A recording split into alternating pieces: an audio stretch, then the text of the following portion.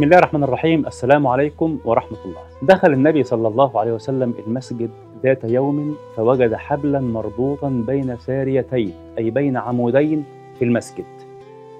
فسأل النبي لمن هذا الحبل؟ قالوا لزينب بنت الرسول صلى الله عليه وسلم. ليه عملت الحبل ده؟ قالوا تصلي نشاطها فإذا فترت تعلقت به.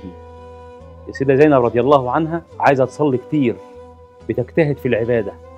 فلما بتتعب عملت حبل علشان تتعلق بيه وتكمل الصلاة. هل الكلام ده عجب النبي صلى الله عليه وسلم؟ الكلام ده لم يعجب النبي. قال حلوا هذا الحبل. ليصلي أحدكم نشاطه فإذا فتر فليرقد أو فليقعد. صلي وإنت عندك صحة. صلي وإنت فايق. تعبت اقعد.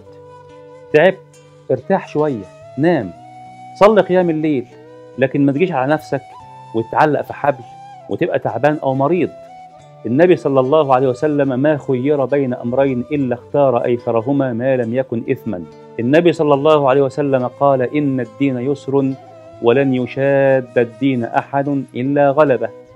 النبي صلى الله عليه وسلم يقول يسروا ولا تعسروا بشروا ولا تنفروا. النبي مرضيش لزينب بنته إن هي تتعلق في الحبل وهي بتصلي. قال لا تصلي وهي قادره لما تكون مش قادره ترتاح فليقعد أو فليرقد عاوزين نتعلم في حياتنا إن الدين دين الوسطية وإن الإنسان ربنا عز وجل خفف عنه. يريد الله أن يخفف عنكم.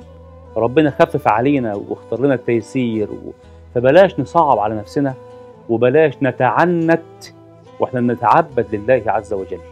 يسروا ولا تعسروا. إلى اللقاء.